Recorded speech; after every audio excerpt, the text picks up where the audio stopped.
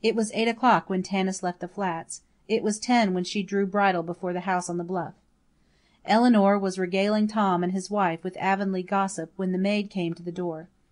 "Please'm, there's a Breed girl out on the veranda, and she's asking for Miss Blair." Eleanor went out wonderingly, followed by Tom. Tannis, whip in hand, stood by the open door, with the stormy night behind her, and the warm ruby light of the hall lamps showering over her white face and the long rope of drenched hair that fell from her bare head. She looked wild enough. "Jerome Carey was shot in a quarrel at Joe Esquint's to night," she said. "He is dying he wants you I have come for you." Eleanor gave a little cry, and steadied herself on Tom's shoulder.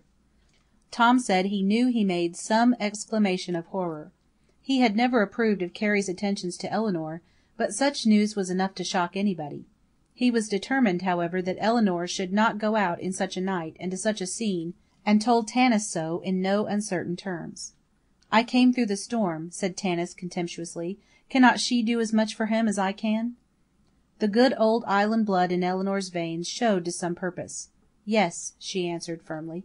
"No, Tom, don't object. I must go. Get my horse and your own."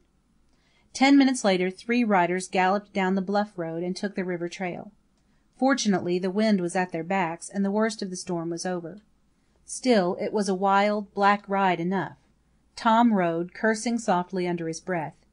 He did not like the whole thing Carey done to death in some low half breed shack, this handsome, sullen girl coming as his messenger, this nightmare ride through wind and rain. It all savoured too much of melodrama, even for the Northland, where people still did things in a primitive way. He heartily wished Eleanor had never left Avonlea. It was past twelve when they reached the Flats. Tannis was the only one who seemed to be able to think coherently. It was she who told Tom where to take the horses, and then led Eleanor to the room where Carey was dying. The doctor was sitting by the bedside, and Mrs. Joe was curled up in a corner, sniffling to herself.